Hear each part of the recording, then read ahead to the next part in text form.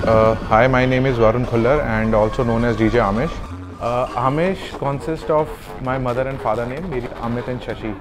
Almost four years back जब मैं यहाँ से मनाली ट्रैवल कर रहा था just for a small vacation and my मेरी गाड़ी थी it went off the hills मैं हमेशा डीजे ही बनना चाहता था बट आफ्टर माई इंजरी मेरा केवल एक ही थाट था I should not let my dream go away because of this thing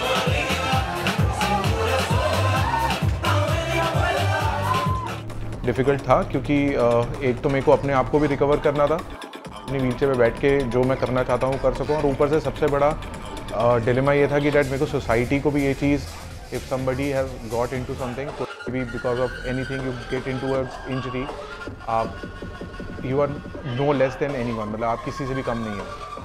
मेरे को लोग इसलिए नहीं जज कर रहे थे कि मेरा काम अच्छा है। बट वो मेरे को केवल इसलिए रिजेक्ट करे जा रहे थे कि उनको अपनी प्लेस को थोड़ा एक्सेसिबल करना पड़ेगा।